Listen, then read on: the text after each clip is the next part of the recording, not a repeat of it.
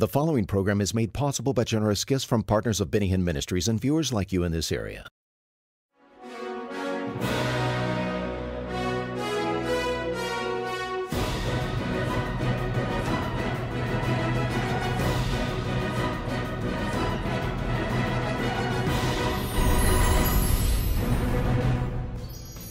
And I pray today's message will touch your heart mightily. I'm teaching on the covenant meal, communion. In Luke chapter 22, verse 19 and 20, it says, And Jesus took bread and gave thanks and brake it and gave unto them, saying, This is my body, which is given for you. This do in remembrance of me. Likewise also the cup after supper, saying, This cup is the New Testament or covenant in my blood, which is shed for you. Today I pray the Lord will minister the riches of His word, and I pray this teaching will change your life for the glory of our precious Jesus. Lord, I pray this be a mighty time in you. In Jesus' name, amen. Be fed and be blessed today. Go with me to a most powerful uh, and a very familiar portion of God's Word. I want you all to go to Exodus, the book of Exodus first, chapter 24, and stay there with me for a minute. And Cheryl, for a moment, please.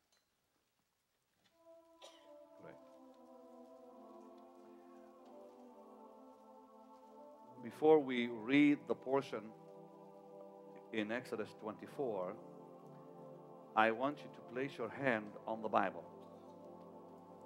Before we even begin, I'm asking God tonight to give you a revelation of His Word that will change your life.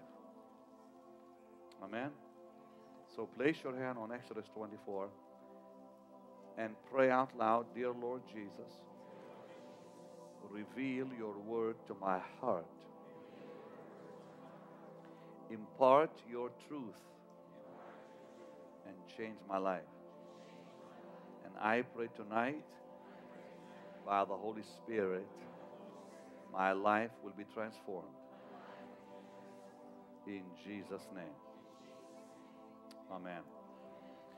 The reason I had you open to that particular chapter is because this is where God Almighty began to reveal to Israel what I'm about to talk to you about.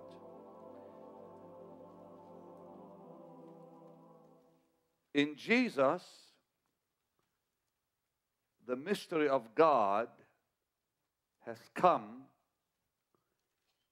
and in Jesus, this mystery has taken residence in us.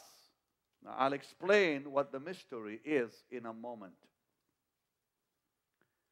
But I want to repeat this one truth that in Jesus Christ, the mystery of God has come to each one of us and has taken residence in us.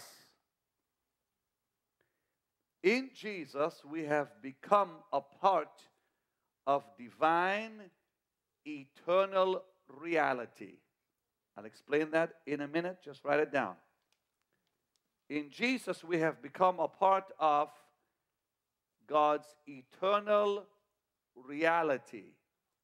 Because everything this world presents is not reality only in God is reality. In Jesus, we've become part of the eternal love of God, which is true reality. Because only in Jesus Christ do we find this reality. What is that reality? What do I mean by reality? We are God's people. We have been found.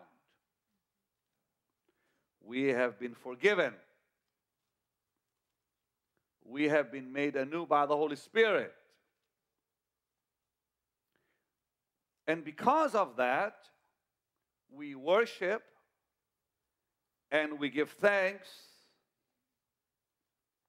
And as we worship and as we give thanks, we become established in the reality of Jesus Christ. The reality of Jesus Christ is at the center of what I call the covenant meal. In that covenant meal, there is reality. Everything outside Christ has no reality. Everything outside Jesus has no truth in it whatsoever. Anything outside Jesus is a lie.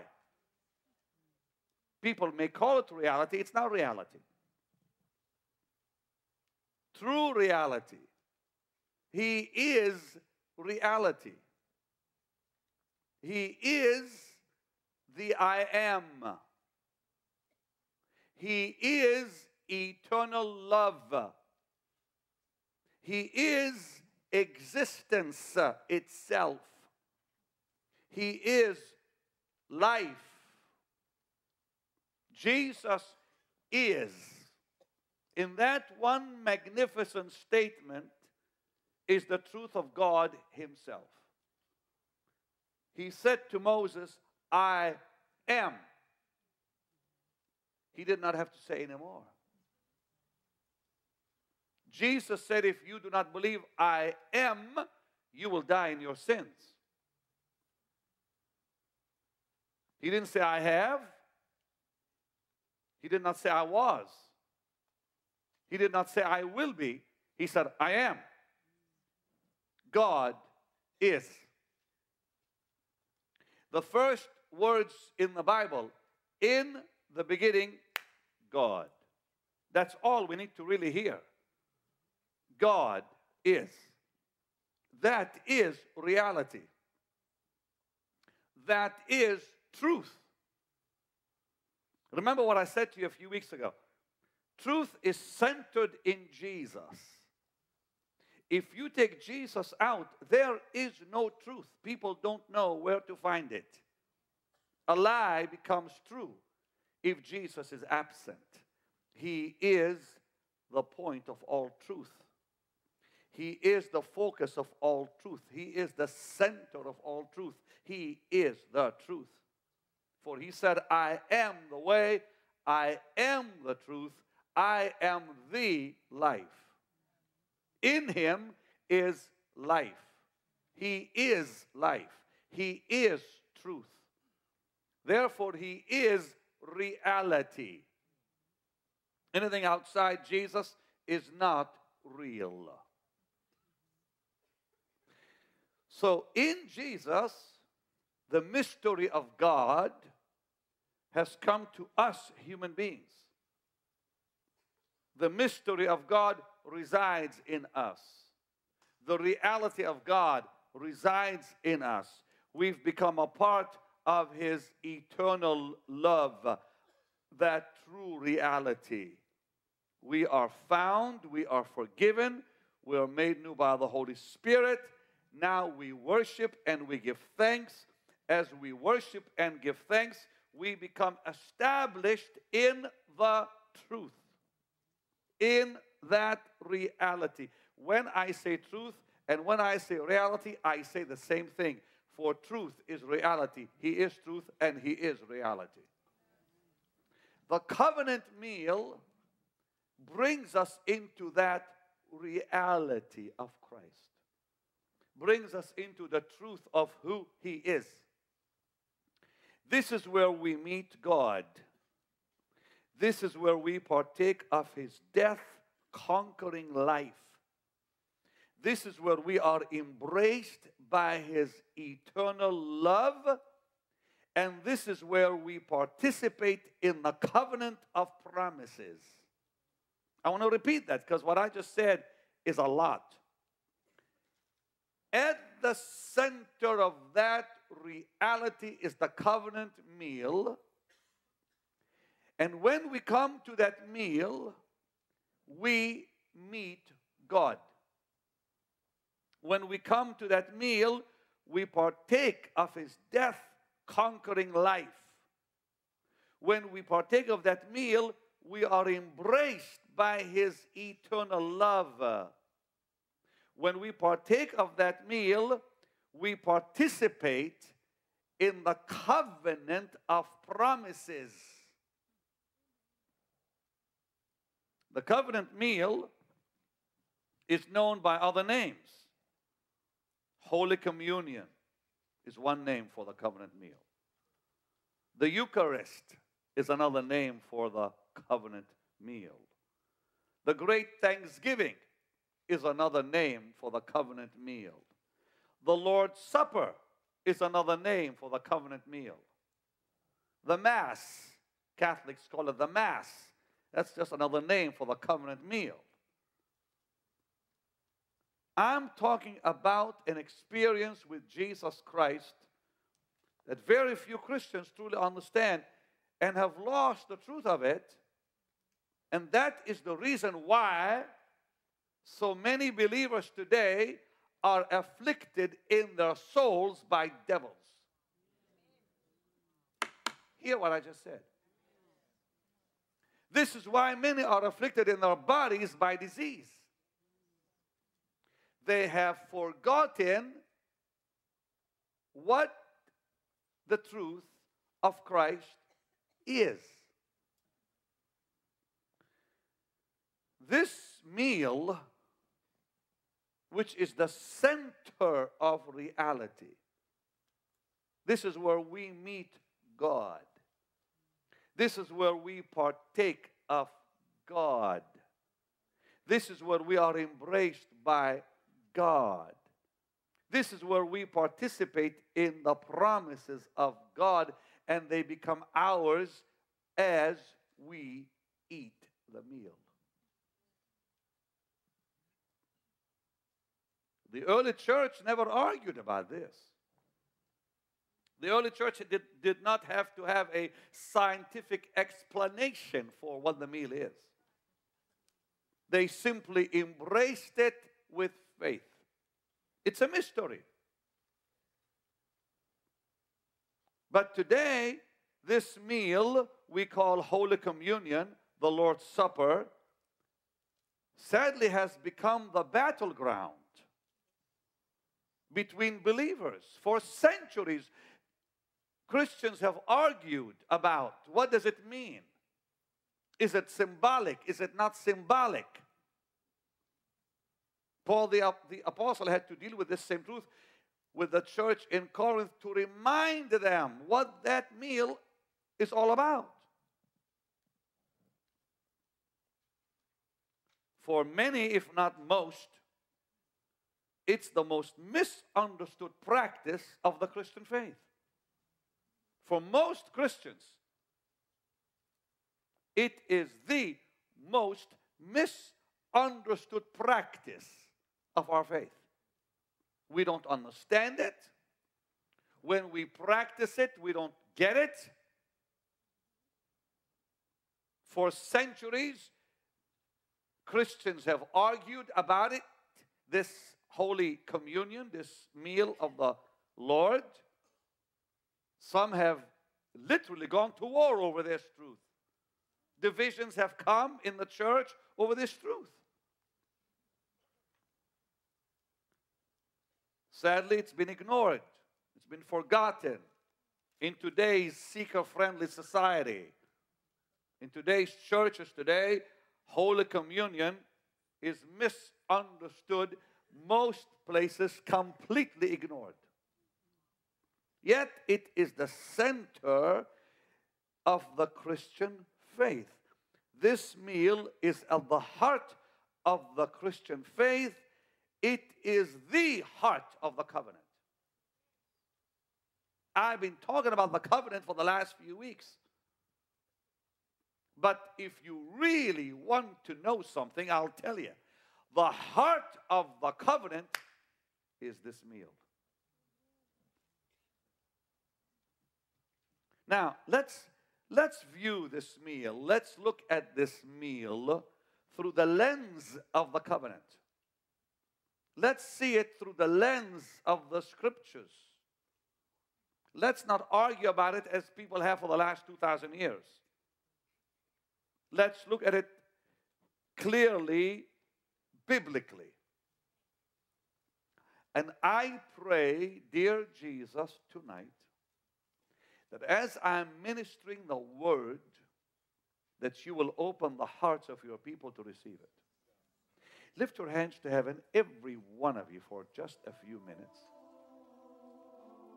Father, I cannot teach this without your help. Blessed Holy Spirit, I cannot bring this truth unless you help me deliver it properly, with clarity, with power, with insight and revelation. I cannot deliver this truth to your people if it's only through words, through my vehicle. Lord, my vehicle is not enough. I need your anointing on my voice, and my words become a piercing, blessed fire into the heart of men. In Jesus' name. Take my words and make what I say life. In Jesus' name. And God's people said, because this truth requires the Holy Spirit. I cannot just talk about it, teach it, because you won't get it. It's a revelation. Every covenant in Scripture, now we're, we are looking, we're looking at this at this meal through the lens of the covenant. Every covenant in Scripture ended with a meal. Because that meal declared, listen, it declared that the covenant was now valid.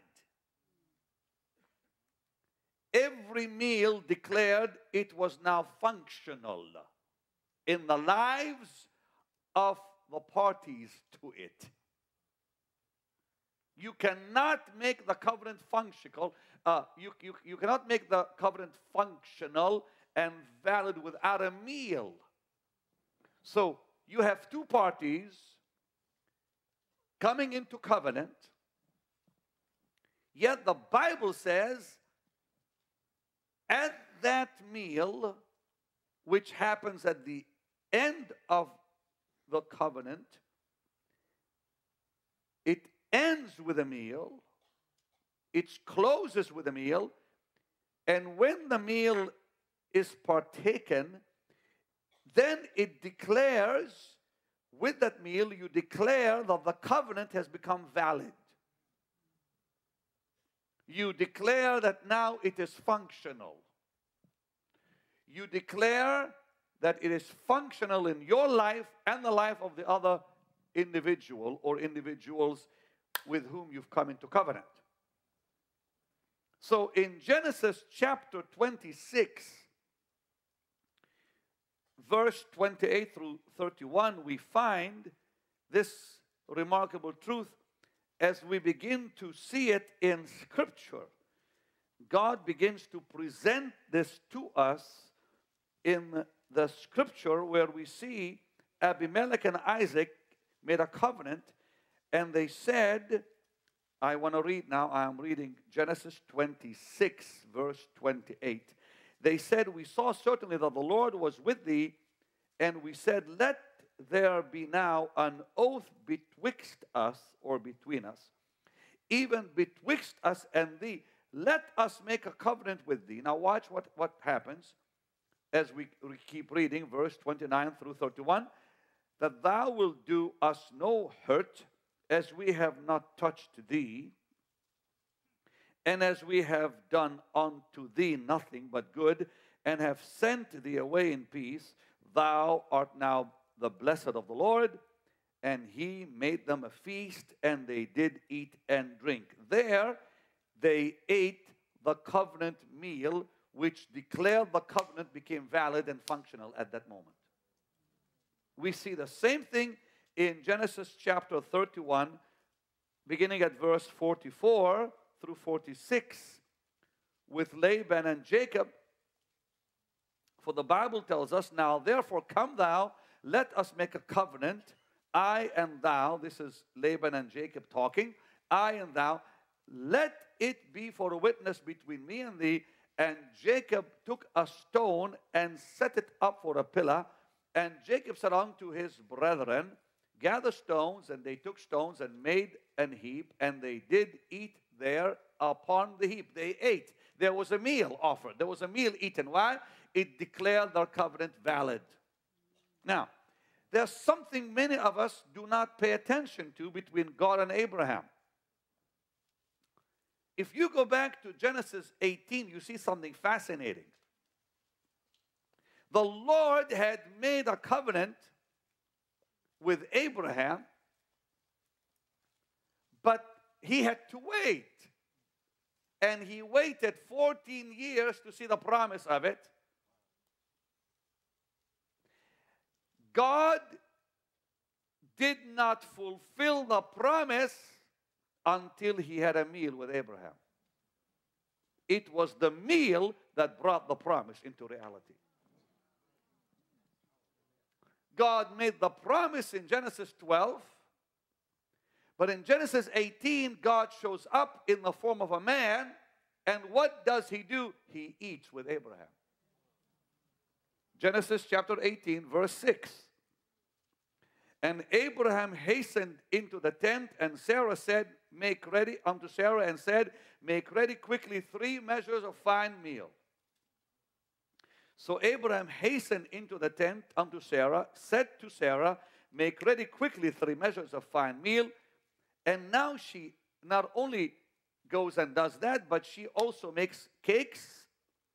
Abraham ran, verse 7 says, unto the herd and fetched a calf, tender and good, gave it unto a young man. He hasted to dress it. He took butter, he took milk and the calf, and he had dressed it, he had which he had dressed and set it before them, that is before the Lord. And he stood by them under the tree, and they did eat. It was the Lord who was eating. The Lord came in the form of a man to eat dinner with Abraham. For the covenant could not become valid without that meal. And the minute he ate the meal, look what God said right after that. Verse 10 And he said, I will certainly now return unto thee according to the time of life, and lo, Sarah thy wife shall have a son. God made the promise in many years earlier. This is almost 14 years later. Therefore, a meal brings about the promise. Now, I'm going to say something to you in just a moment that's going to amaze you. Every promise of God becomes reality during that meal. We participate in the promises we partake of the promises. That is why many Christians cannot receive from God anything, for they have never had a proper meal with Him. In communion, they don't know what they're doing. God cannot deliver any promise without eating with you first. He made the promise to Abraham 14 years earlier. But he had to have lunch with him to give it to him. Are you getting it? Now he says to him, Now, now that we've eaten together, I will certainly return. And I will fulfill my promise to you, and you'll have a son. Verse 11 says, Now Abraham and Sarah were old and well stricken in age. It ceased to be with Sarah after the manner of woman. She could not even conceive a boy, but it didn't matter because that meal brought forth the promise.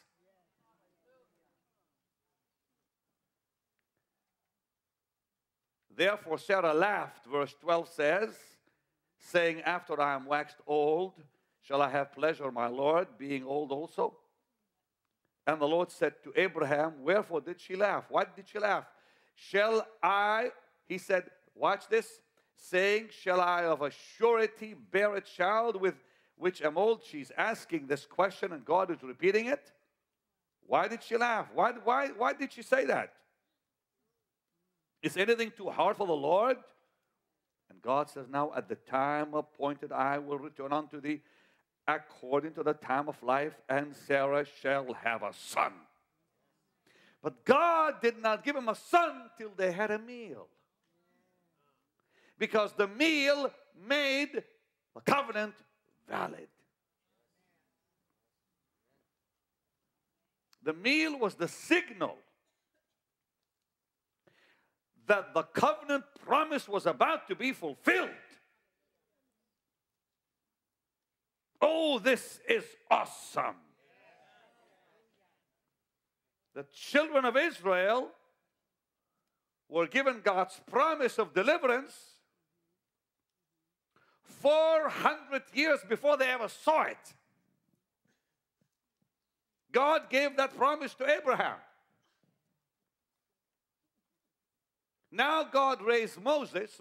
God raised Moses, sent him down to Egypt. Egypt is destroyed. Pharaoh just will not let them go. God hardens his heart to glorify his name and declare his power. Yet, my brother and sister, they could not be delivered without dinner. God said, Now prepare to have dinner. Because when you have dinner, I'm showing up during the dinner. At the covenant meal, we are embraced by God. At the covenant meal, we participate in the promises of the covenant. The promises become ours only as we eat. Whoa, my brother. If you don't get excited, it's because you're dead. And I don't think we have dead people in this house tonight. I think you've been resurrected to newness of life. You cannot receive from God without dinner. It doesn't become valid without dinner. It doesn't become functional without dinner. Hallelujah. So God makes the promise to Abraham 14 years earlier, but Abraham doesn't see a son till God shows up for dinner. In that case, it was lunch. Now, the children of Israel, God gave them promises for their deliverance, said, I'm going to bring you out of Egypt. Nothing happened. Moses shows up. Egypt is destroyed, but they're still slaves. Pharaoh's got nothing left. They are still slaves. The land is ruined. They are still slaves. Why? Dinner time hasn't shown up yet. But on that last night, God says, Get dinner ready. Get that lamb. Cook it. Apply the blood and eat it. God did not even wait for dessert to show up. He showed up before dessert. Before they could finish eating, the Lord was already there. They were freed while they ate. They were delivered while they ate. Do you understand? While you eat, you'll be healed. While you eat, you'll be delivered. While you eat, the devils of hell will be crushed under your foot.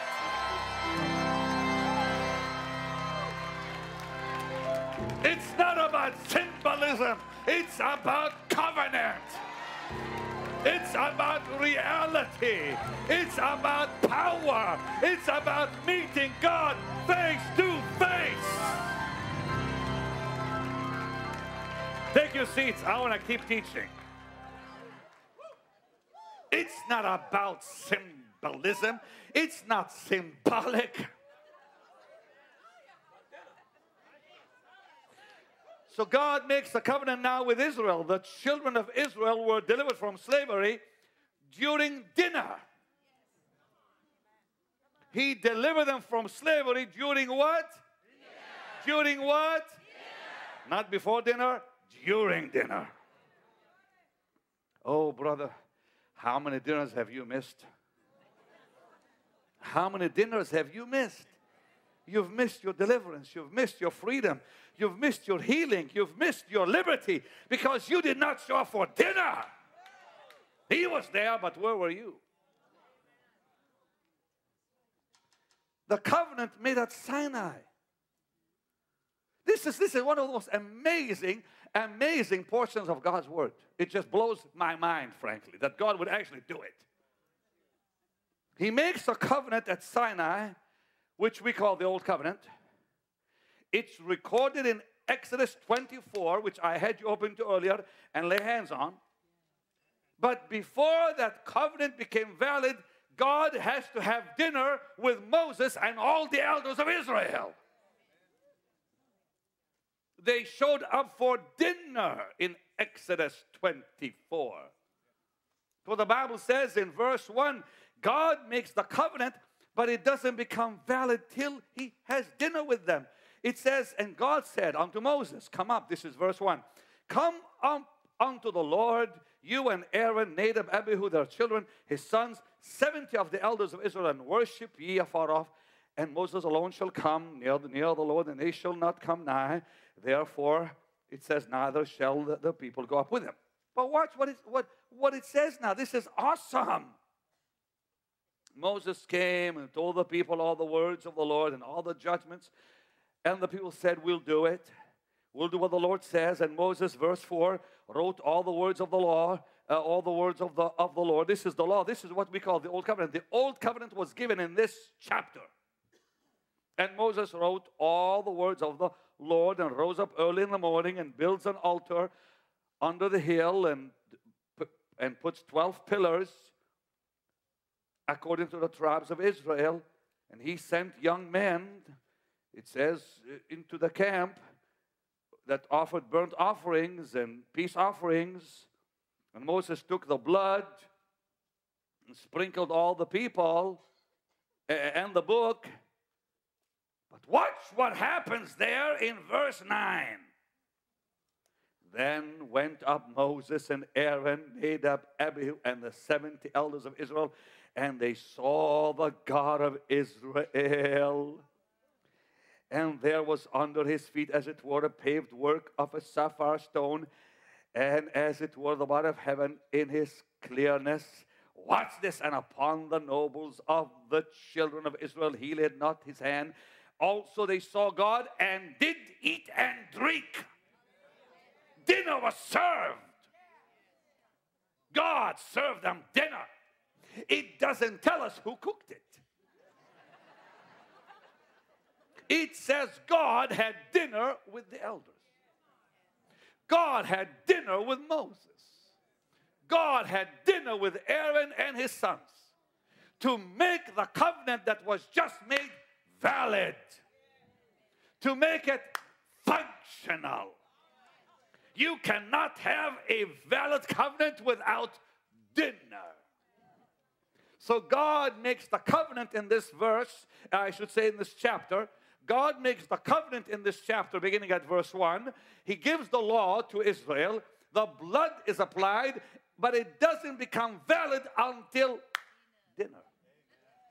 They ate with God.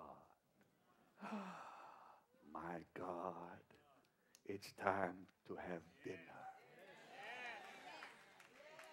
God ate with man. What did Jesus do in Jerusalem on that last night? What did he do? He said, Let's have dinner to make the covenant valid. God the Son, in making the new covenant valid, ate a meal with his disciples.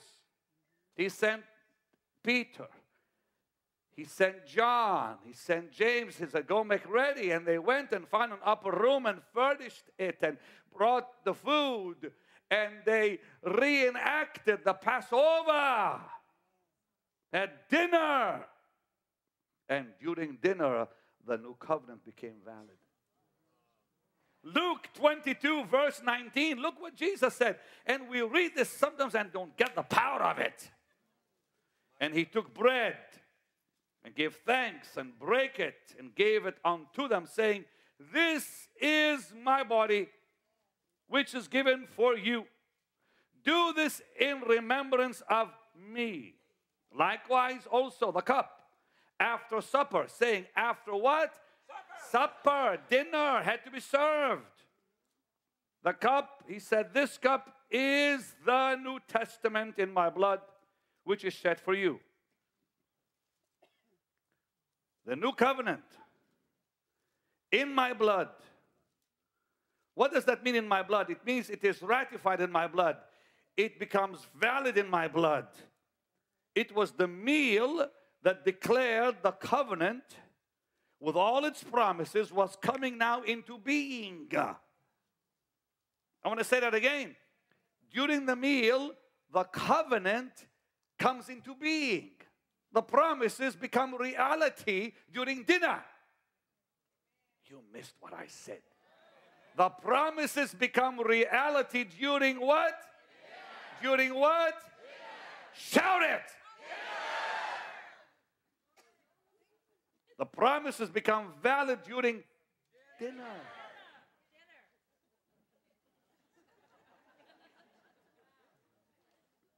Now, watch this. This is, I think, where the real truth now comes in. Let's read it again, verse 19. He took bread, gave thanks, break it, give it unto them, saying, This is my body which is given for you. Do this in remembrance of me. Do this in remembrance of me. What does that mean? You got to hear this now. What did he mean by do this in remembrance of me?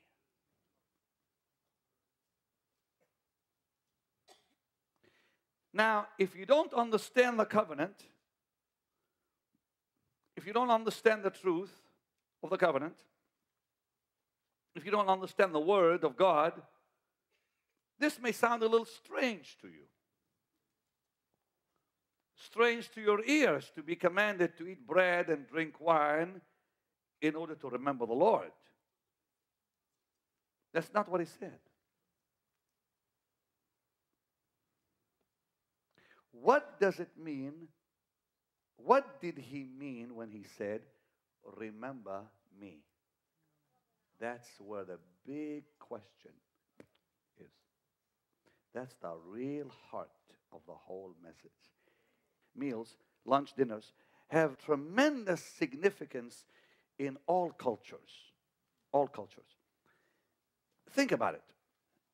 We mark, we as people mark every significant event in our lives with a meal. Every important event in your life, you, you, you have dinner, you have lunch. You, you mark that with dinner. Uh, weddings, there's a dinner after wedding. Anniversaries, uh, birthdays, even business, even business deals are often uh, uh, uh, closed with dinner. Because meals have, have, have tremendous significance in, in, in all cultures. The Lord Jesus often had meals, lunch, dinners with people. Uh, he, he went to the example to the wedding at Cana. He ate, he drank with them the feeding of the 5,000, he went to the house of Zacchaeus and ate with him and brought evangelism to his home. Not only at the Lord's Supper, but he even ate with them after his resurrection. The night he came, Sunday night, when they saw him for the first time, the first thing he said, I want to eat. Now, this, there's, there's a reason why he did it. Jesus cannot be revealed without dinner.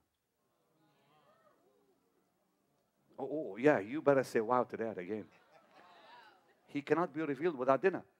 That's what, what happened on the road to Emmaus. Their eyes were open as he broke bread. At dinner, he reveals himself. We miss all this truth during communion because we're not thinking about ha- having dinner with God. We are thinking symbolism. Forget the symbols. This is dinner with God. It's called the Lord's Supper, Holy Communion, the Eucharist, the Catholics call it, Mass. But they too have lost the meaning of it. Many people in the church have lost the, the, the, the, power in it.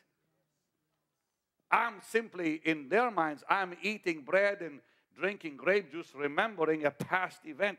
No, it's not a past event. Communion is not something, hear this, I beg of you. It's not something symbolic. It sounds strange to, to the man or the woman who, who doesn't understand covenant to understand what Jesus meant by remember me by eating bread and drinking wine. That's not what he meant. What did he mean by remember me? Keep listening, I'll tell you. Jesus often had meals with people, and during those meals, there was something powerful that happened in every one of them. In Acts chapter 10, verse 41, Paul, uh, I should say Peter, in Acts 10 41, Peter the apostle clearly states that after the resurrection, the apostles ate and drank with Christ. Jesus had dinner with the apostles after his resurrection. Why? He could not reveal himself without it. It's really a dinner of revelation. It's communion. There's union in the communion. But we've lost the union and the communion. We don't even get it. So Acts 10 41 clearly states that the Son of God ate with them after he rose from the dead. Not to all the people, but unto witnesses chosen before of God, even to us, Peter says, who did eat and drink with him after he rose from the dead. But the question is why? Why, why would Jesus eat with his apostles after the resurrection? He, wasn't, he was not hungry. He ate because they were hungry. And they were not hungry for food, they were hungry for him. For in dinner, he reveals himself. In dinner, he gives the promises. In dinner, he imparts himself. In dinner, he embraces the church. In dinner, they become a part of him.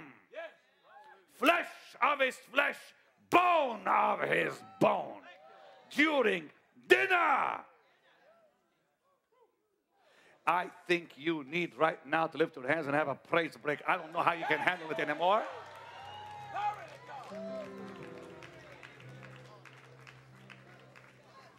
Come on, praise Him in the Holy Ghost.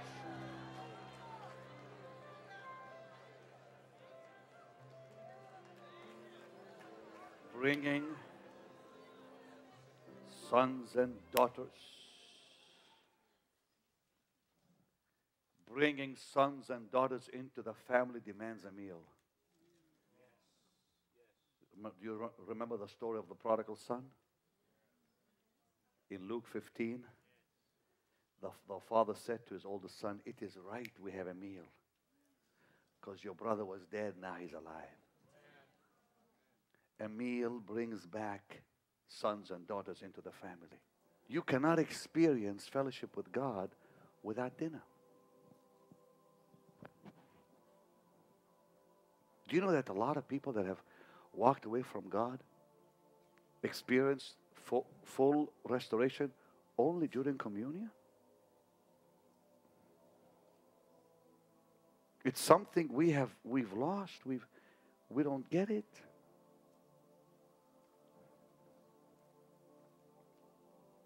So the father tells his oldest son in Luke 50, 15, he says, It's right.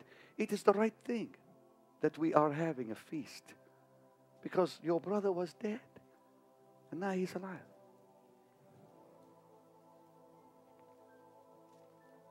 We always forget what the psalmist said Thou preparest a table before me in the presence of my enemies. Why? Why the dinner?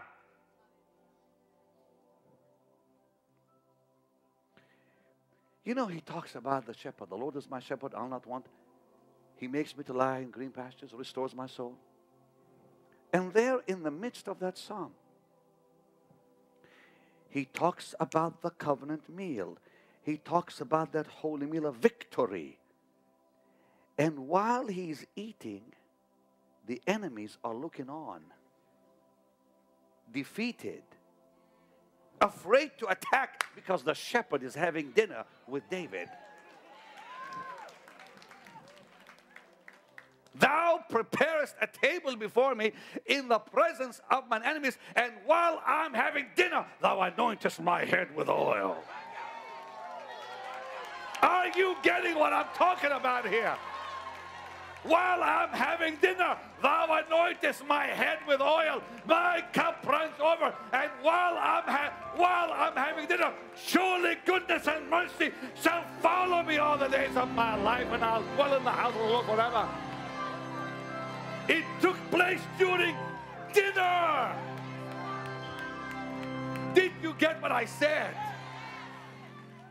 He talks about the Lord is my shepherd, I'll not want. He makes me to lie in green pastures, restores my soul, and gives us all the glory. And then he hits you hard. He says, You prepare a table, and while I'm eating, you anoint me with oil. Therefore, it is impossible to be anointed unless first you have dinner. The oil shows up during during Louder during. We've forgotten all about dinner. Don't stop playing that God lead you, brother. There's a holy anointing here. You better lift your hands and praise His holy name. Come on, people. Just praise His name. The covenant demands more than faith because we must celebrate our union with God with our entire person. Because you see, my brother, when you have dinner, the, the entire person is involved. The bread and the wine become the door between two worlds. The bread and the wine is the point of contact with the world of the Holy Spirit. The meal is that point where we meet God. We'll talk about the meal. What is that meal? What are we served in that meal? He said, This is my body. This is my blood. Partake of it. Eat it. But to understand the meal, we must understand the words, remember me. Remember does not mean think about what happened in the past in your mind. It doesn't mean that at all.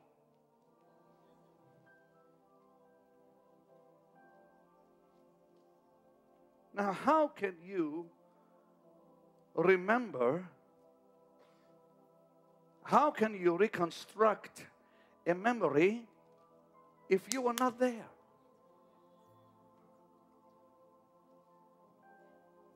Did you hear what I said?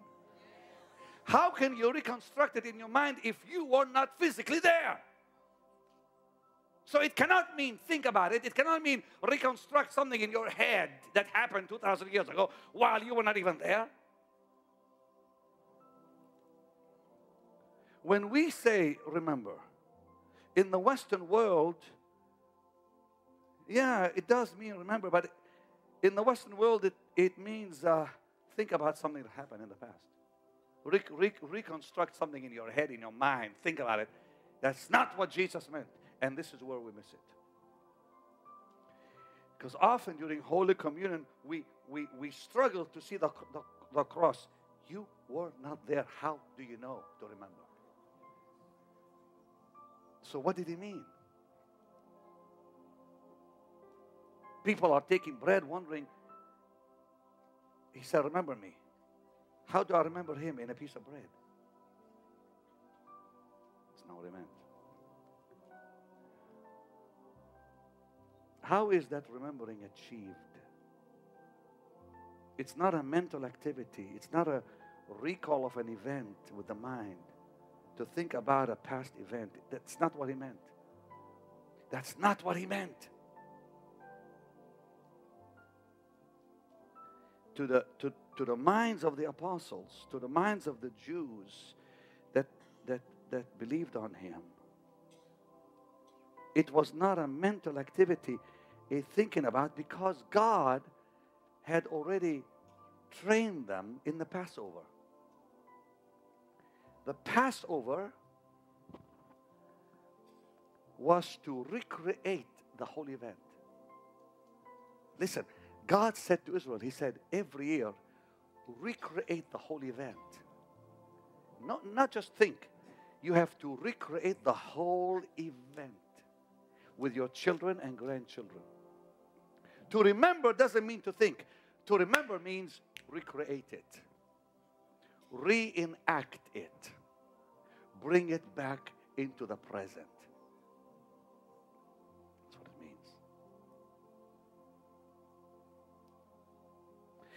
Remember means to recreate the event, bringing it into the present, reenacting it, employing the rituals and symbols to help you to bring it into the now. To remember is to identify with that event, to participate in all the power of it, to come into the event as though you were there. You say, How? Keep listening, I'll tell you. Every year, the people of Israel, the, the people of God in the Old Covenant, remembered the deliverance from Egypt. And so, what they did is they reenacted, recreated the event in the Passover meal. Everything they ate spoke of an event that took place in Egypt. They ate bitter herbs. They, they, everything they ate in that Passover dinner spoke of something that happened to them. It wasn't just what they ate, it's what it meant. It's what it meant. So the people of Israel, the people of God, remember their deliverance from Egypt in exactly the same fashion it took place. They, in reenacting it in the, in the meal, the meal became the recreation of that event. Remembering the, and, and that's what Jesus meant by remember me. He said, reenact it, recreate that event in your heart. Because that recreation, that remembering, is the bridge that brings the past and the present together. Watch what Jesus said. Jesus did not say, think this. He said, do this. The words never came out of his mouth. He never said, think this of me. He said, do this in remembrance of me. It's not a thinking, it's a doing. Jesus never said in, in Luke or any other gospel, think this. He said, do this. Do means reenact. Do means recreate. It's an active participation in the historical reality of the past. By reenacting it, we release the power of that moment into the present. I'm going to say this again. By reenacting that event, we release the power of it into our lives, into the moment.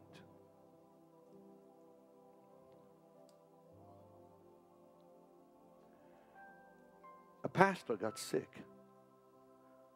I know that pastor. And uh, the doctors told him that he, he's going to die with cancer.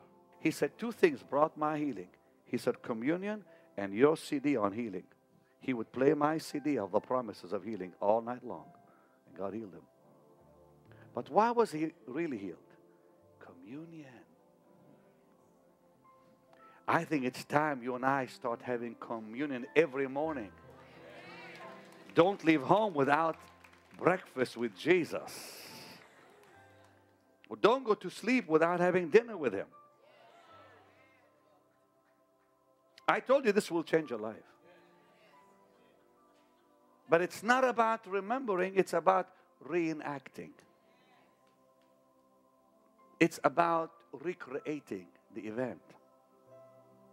Because in whatever moment of time you do this, whether you do it in the morning, you do it in the evening, in the afternoon, this past moment will become a present moment.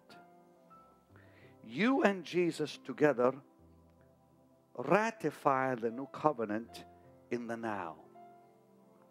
Every time you partake of dinner, it's ratified again, valid again,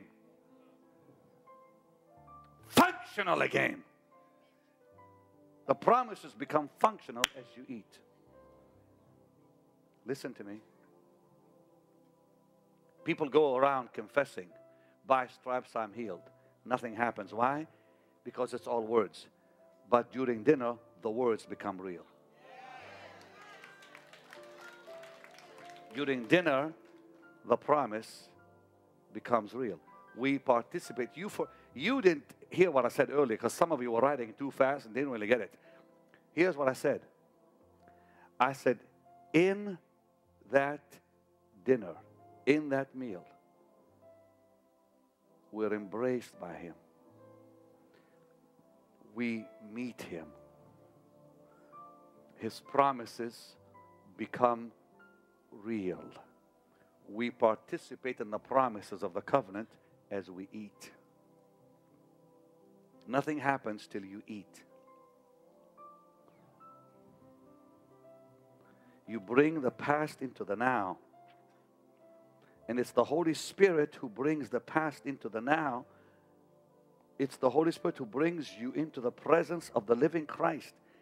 It's the Holy Ghost who brings you into the presence of the guarantor of the new covenant. In remembering, in reenacting, in recreating, because that's what it means. So when Jesus said, Do this in remembrance, he was saying, reenact the event, recreate the event by dinner. Just like the Jewish people reenacted the Passover by what they ate, by, by, what, they t- by, by, by what they tasted, what they ate. Now, this is something very remarkable that in the Gospel of Luke, he, he records two special dinners, not one.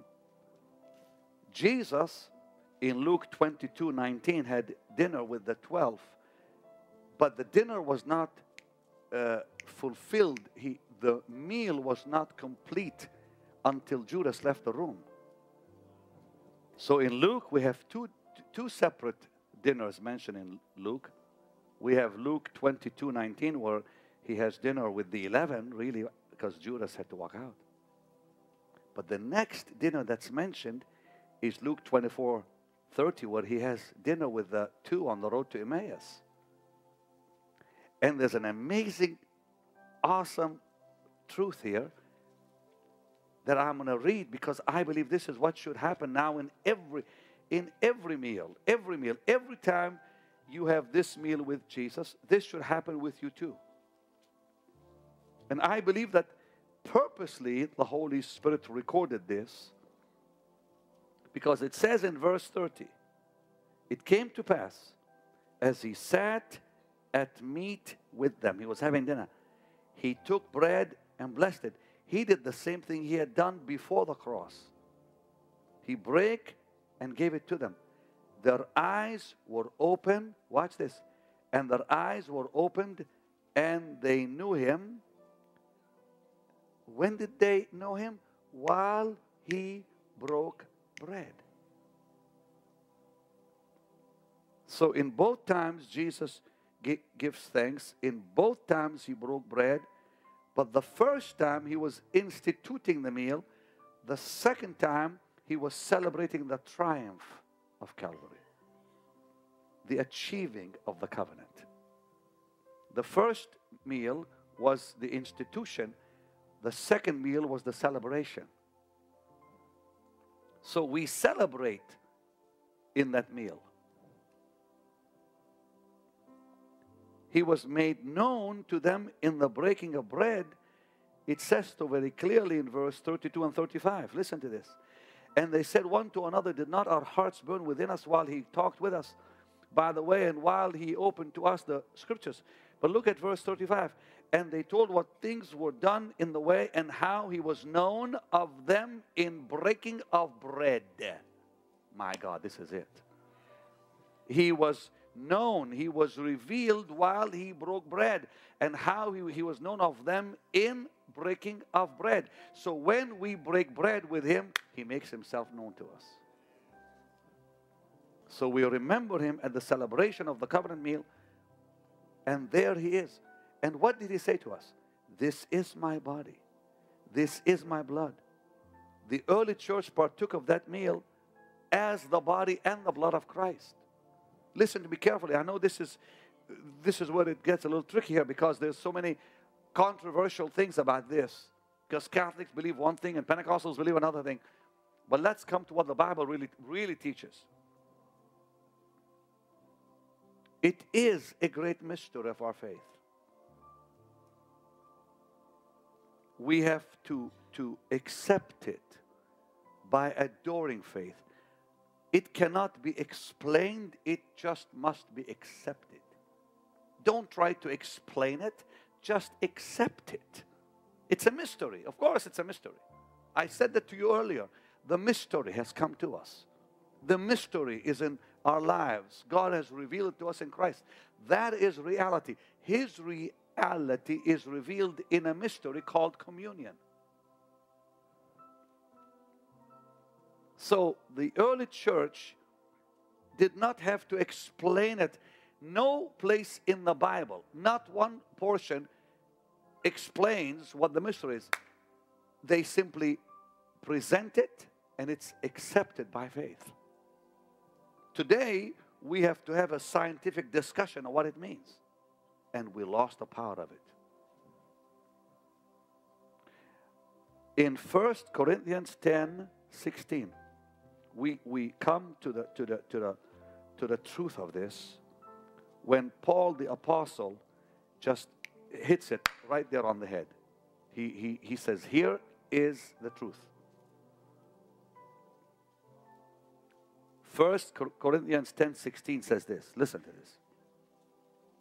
The cup of blessing which we bless, is it not the communion of the blood of Christ? And the bread which we break, is it not the communion of the body of Christ? He said, The cup is the blood, and the bread is the body. Now, watch what he says in verse 17. For we, being many, are one bread and one body. Why?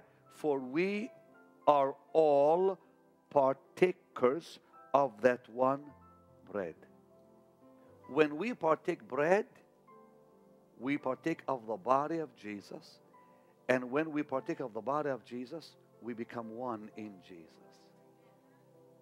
The communion unites us. This Holy Supper unites us. For he says clearly, we being many are one bread, one body. Why are we one bread and body? Because we have partaken of that one bread. Who is the bread? Jesus. Because in verse 16 he says, The cup which we bless, is it not the communion of the blood of Christ? And the bread which we break, is it not the communion of the body of Christ? Now, here's what he means by communion.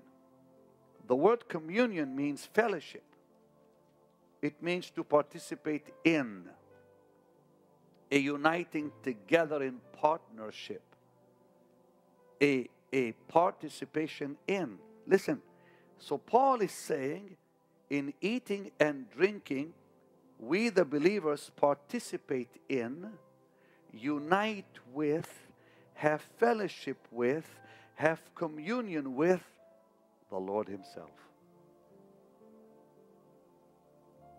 We participate in, we have communion with, we are in fellowship with Christ. So when we partake communion, we're actually partaking Him.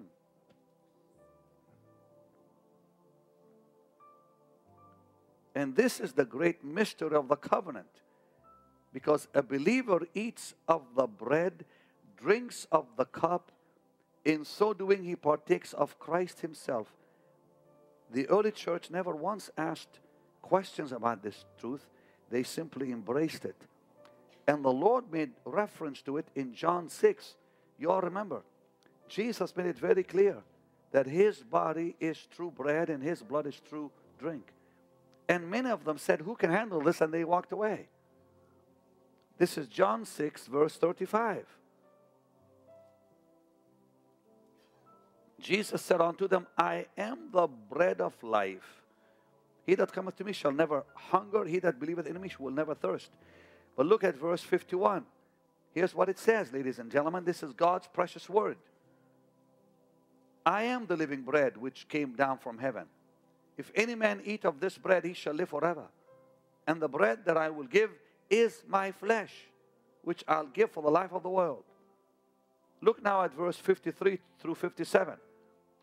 Then Jesus said to them, Verily, verily, means pay attention. I say unto you, except ye eat the flesh of the Son of Man and drink his blood, ye have no life in you. Whosoever eats my flesh and drinks my blood hath eternal life, and I will raise him up at the last day. For my flesh is meat indeed, my blood is drink indeed. He that eateth my flesh and drinketh my blood dwelleth in me, and I in him. As the living Father hath sent me, and I live by the Father, so he that eateth me, even he shall live by me. What is this? It's, it's communion. Because Jesus said, This is my body, this is my blood. Now, listen to this. This is awesome. The bread and the wine